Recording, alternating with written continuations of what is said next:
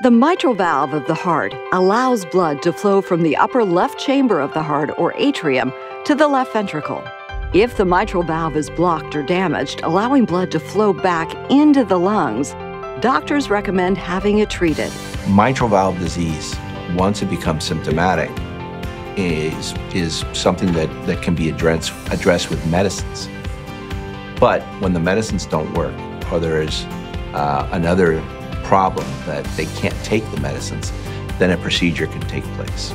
And heart surgeons at Miami Cardiac and Vascular Institute have some of the lowest complication rates following heart surgery in the country.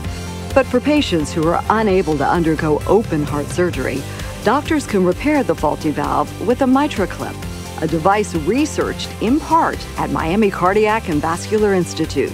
That is a totally catheter based technology, and it, it is approved in patients who are extremely high risk for surgery or that cannot be operated because they're too ill, too sick, too weak, and uh, this procedure works uh, wonders.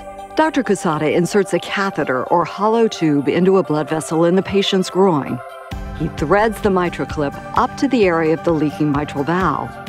He then places the clip around the leaflets of the valve, pinching the valve where the leak is, but allowing blood to continue to flow around the clip. So you don't have to open the chest to do it. So patients who are not suitable, they're so sick that cannot get a, a conventional open heart surgery for repairing of the mitral valve can have this alternative approach.